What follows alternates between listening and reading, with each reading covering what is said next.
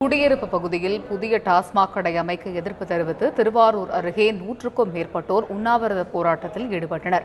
திருவாரூர் மாவட்டம் அகரத்திருநல்லூரில் புதிய மதுபான கடையை திறக்க அரசு நடவடிக்கையை மேற்கொண்டு வருவதாக தெரிகிறது. அதற்கு எதிர்ப்பு தெரிவித்து பெண்கள் குழந்தைகள் உட்பட நூற்றுக்கும் மேற்பட்டோர் அப்பகுதியில் உண்ணாவிரத போராட்டத்தில் ஈடுபட்டனர். டாஸ்மாக் கடை அமைக்கப்பட்டால் தொடர் போராட்டத்தில் ஈடுபடுவோம் எனவும் அவர்கள் கூறியுள்ளனர்.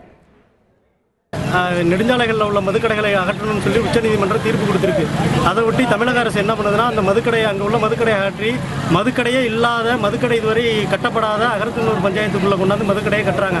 இது அகரத்தினூர் பஞ்சாயத்தில் உள்ள ஊர் பொதுமக்களுக்கும் மக்களுக்கும் யாருக்கும் பிடிக்கல. அதனால் அதை கண்டித்து நாங்கள் வந்து ரெண்டு முறை வந்து மாவட்ட நிர்வாகத்தை மனு கொடுத்துருக்கோம். பெண்களும் தனியாக மனு கொடுத்துருக்காங்க ஆண்களும் தனியாக மனு கொடுத்துருக்காங்க. இந்த ஆனால் மாவட்ட நிர்வாகம் தி- கட்டுறதுலே தீவிரமாக இருக்குது. அதனால் இது ஒரு அடையாள உண்ணாவிரதமாக அதை எங்கள் ஊருக்கு டாஸ்மாக் வேண்டாம் மதுக்கடை வேண்டாம் கல்வியை கொடு வேலைவாய்ப்பு கொடு மருத்துவத்தை இலவசமாக கொடு.